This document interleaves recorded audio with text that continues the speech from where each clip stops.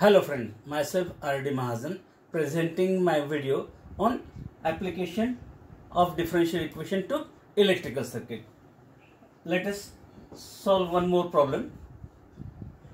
A condenser of capacity C, capital C, is charged through a resistance R, capital R, by steady voltage V, capital V. Then prove that if Q is equal to 0 at T is equal to 0, capital Q is equal to C into V in bracket 1 minus e raised to minus T by RC. Also find current at that instant of closing the switch. And to prove these two results, we consider an electric circuit containing two components resistance and condenser capacity C connected in series with a battery of V voltage. And due to which current flows through that circuit as I. Here resistance R connected in series with condenser C with a battery V. And therefore to develop that differential equation we find the voltage drop across these two components. Voltage drop across R is I into R. Then voltage drop across voltage drop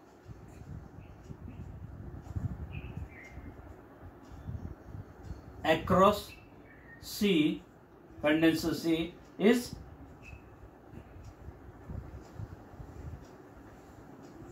Q by C. Then by Kirchhoff's law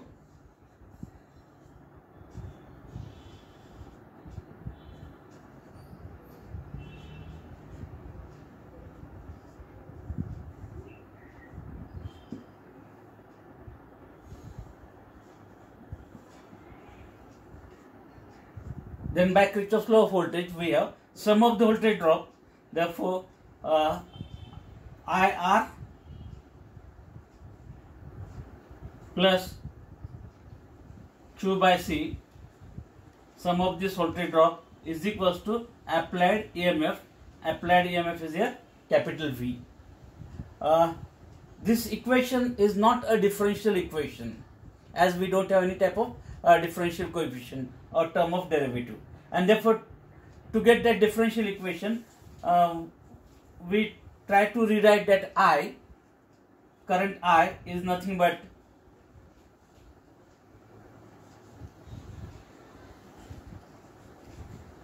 dq by dt hmm. rate of change of charge with respect to change in time t. Therefore I I am replacing it by dq by dt plus q by c is equals to v. Here as we have that uh, differential coefficient dq by dt uh, equation is a, a differential equation with q as a dependent variable and t as independent variable. The degree of q is 1 and degree of that dq by dt is also 1 and not multiplied together means it is a linear equation in q only way to make the coefficient of that term dq by dt as 1 and for that we divide this equation by r throughout. And therefore we get dq by dt plus 1 by rc into q is equals to v by r. We call this as equation 1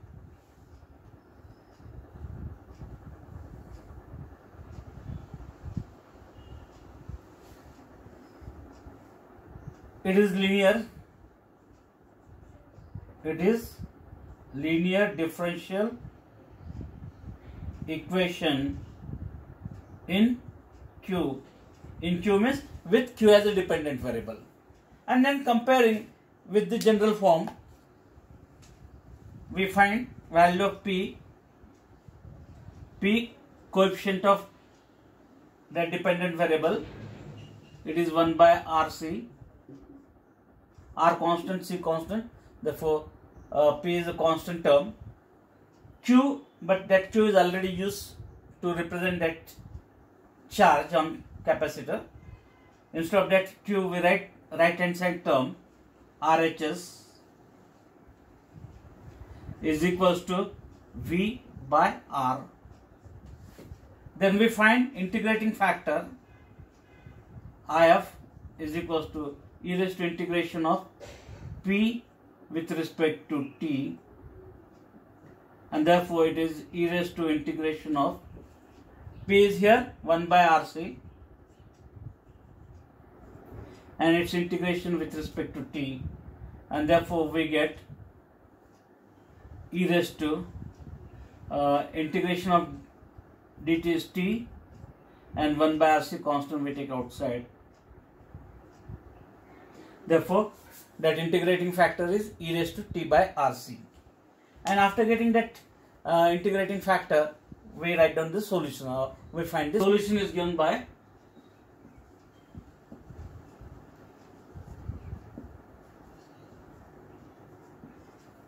dependent variable into integrating factor IF is equals to constant plus integration of Q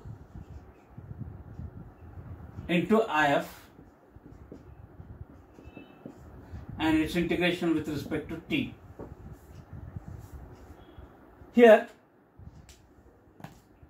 the dependent variable is q if is e raised to t by rc is equals to constant a plus q means the right hand side term. It is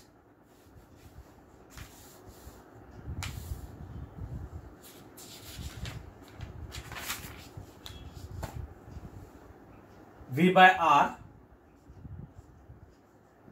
and into IF, IF is e raised to T by RC and its integration with respect to T and therefore it is equals to A plus uh, V divided by R is a constant term we take it outside and integration of that e raised to T by RC is e raised to T divided by RC and whole divided by coefficient of that t is 1 divided by RC. And then rewriting it, it is A plus uh, V by R. Transferring it to numerator, it becomes RC into e raised to t by RC. Uh, RR get cancelled, we get a plus cv into e raised to t by rc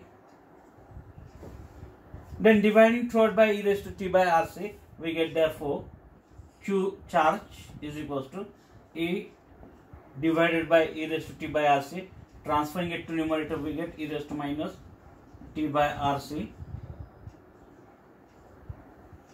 plus uh, e raised to t by rc get cancelled. Cv uh, we call this as equation number 2 this is the expression for charged q. With arbitrary constant a. And to determine that value of that constant a uh, we use that initial condition. Uh, given initial condition is when t is 0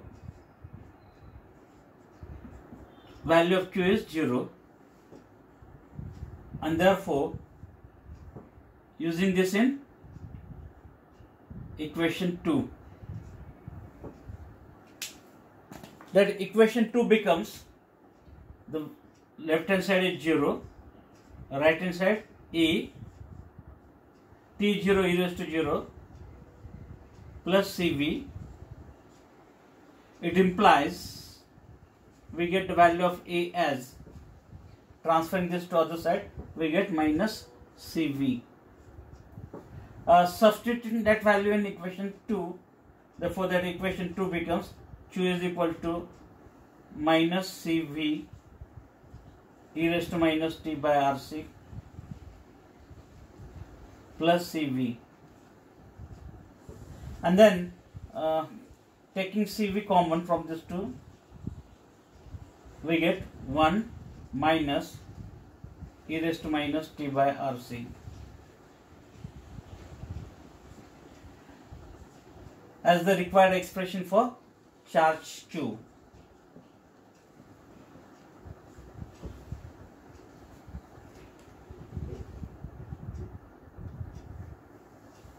Or the required first result. Uh, we get Q is equal to CV in bracket 1 minus e raised to minus t by rc. Then in second part we require to find current, expression for current. We get expression for Q as CV in bracket 1 minus e raised to minus t by rc. And then to find current I, we know that I is nothing but dq by dt.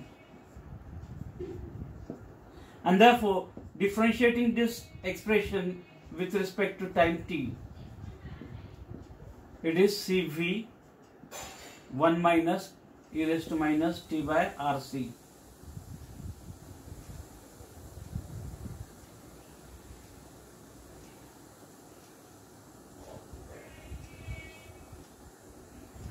And therefore it is equals to differentiating each term with respect to t. Uh, first term is Cv, constant term is derivative 0 minus CV derivative of this term is e raised to minus t by RC into chain rule. Differentiation of this term with respect to t is minus 1 by RC. And therefore, that minus and that minus it become plus. CC get cancelled. We get V by R e raised to minus t by RC some more examples I will discuss in my next part of video on application to electrical circuit. If you are watching my videos, please like and share it as well as subscribe to my channel to get new updates or new videos. Thank you. Thank you very much.